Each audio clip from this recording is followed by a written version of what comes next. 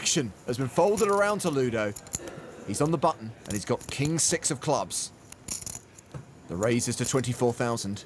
Ingvar Steen in the small blind has ace jack. Oh, He shoves, and it's back on Ludo. Well, this is a fold. 206. 206. Ludo, you can't bluff a guy who's all in. No math required. Easiest fold ever against any sane range. Oh, wow, he's cold! As Ingvar Steen bites his lip, I'd like to read a statement from the poker police. This is atrocious and cannot be considered good in any way. He does have two live cards, but ace high is still good on the flop. I think he may try to bluff him off this flop. Oh, king on the turn! Steen needs an ace or a 10 on the river to survive. No help. That one has got to hurt. Lukter weer.